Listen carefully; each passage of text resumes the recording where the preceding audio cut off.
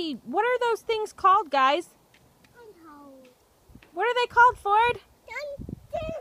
Pine cones. Pine cones.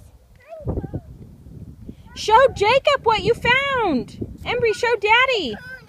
Wow.